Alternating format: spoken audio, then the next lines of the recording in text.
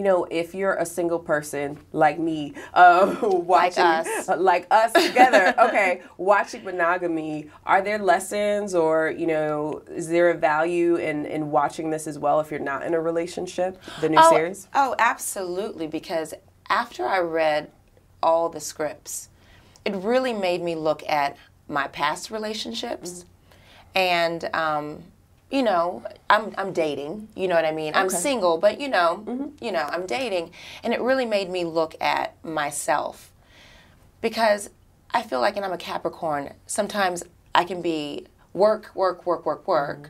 and home kind of falls. Like the love life part, like suffers, and so the big thing that I think is to take away from monogamy is it forces you to have those conversations, communication. Mm-hmm. Um, and also too like what what am i doing that is beneficial in this relationship or what what could i be doing better and having those conversations with and even in friendships by the way mm. not just in Speak male female it. you know yeah. relationships but it really made me look at my my good friends and because i remember i, I had this one friend after I, I read the script i was like wow like last year i wasn't a really good friend mm. like she was she was giving me more like it was more of an 80-20 type of thing that past year just because of work.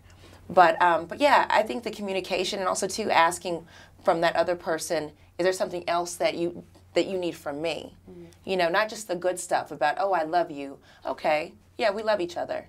But i know that i can be giving more and what is that yeah. I love that you said that. The hard conversations are the tough ones to yeah. have. It's easy to be like, oh, yeah, you're my girl. Everything's yeah. good. Yeah. Absolutely.